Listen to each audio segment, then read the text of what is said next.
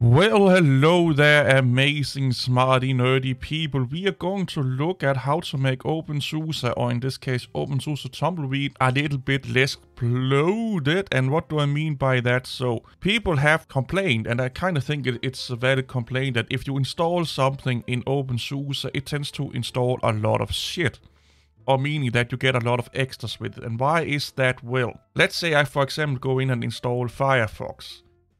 OpenSUSE er by default will now install everything that's recommended by Firefox. So language packs, you know, all of these kind of things that you may not need. It's set up like that by default because the OpenSUSE developers will see that as giving you the best experience of the software because you have everything that the software recommend and need. Some of us don't need all of these extra bits and bobs. We, we know how to add them in ourselves.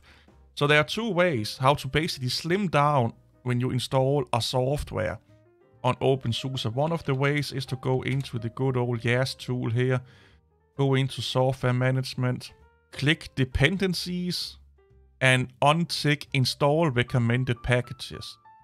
So again, if you are installing good old Firefox, it won't install all of the recommendations, you know, extra language packs, packs that you may not need, or if you're installing other programs, it will not put in everything and the kitchen sink at the same time. It will only put in the bare minimum requirements.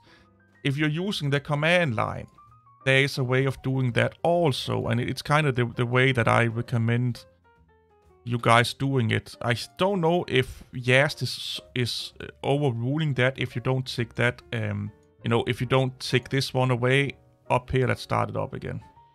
So if you don't untick this one here, I think YaST will still install recommended if you're doing it via the GUI tool.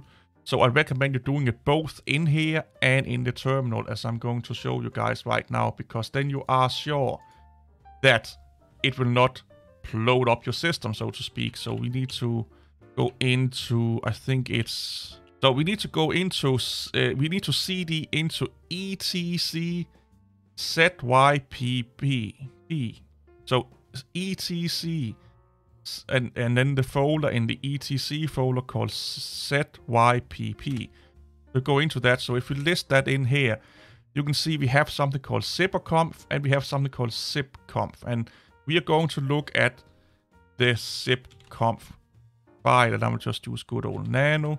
And we need to find something called solve. Here, solver.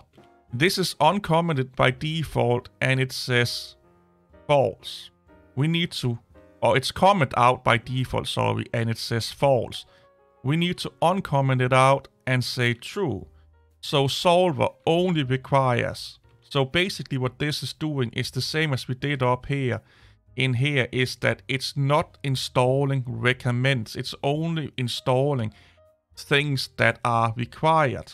If you are installing a program, it will not take all of the recommendation that that program recommend you to install. It will only install the libraries and extra packages that it requires to run.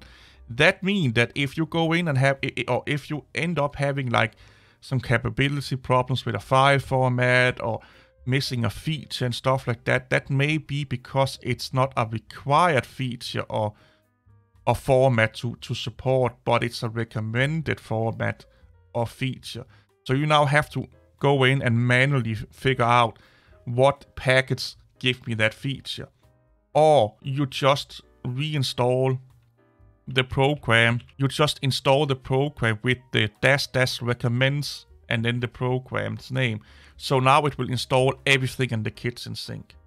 So that's how you can circumvent that in the command line, where you can then reinstall the program up here in the GUI tool and tick install recommends and then reinstall the software.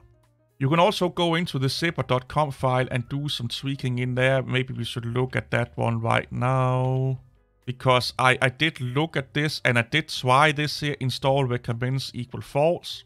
It had no effect on my system. If this was, this is also commented out by default. And you can see here, follows the zypper.conf solver uh, only requires. If you just do that, the first one in zypp.conf and you and you and you set this to uncomment that and set it to true, You don't need to do this one in here. I, I see some guides say you should do both, but with my testing, you only need to do it in the one that we that uh, in this one here in the zypp.conf file here. You only need to do it in here. I tried it with the the modification to zypp.conf and I tried it without the modification to zypp.conf and I saw a difference in packet sizes that it downloaded. I tried it with the uh, file and I tried not modifying zypper.conf but modified zypper.conf, you know, this one up here.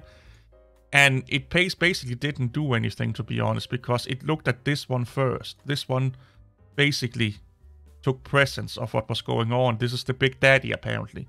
See you all later. Bye bye.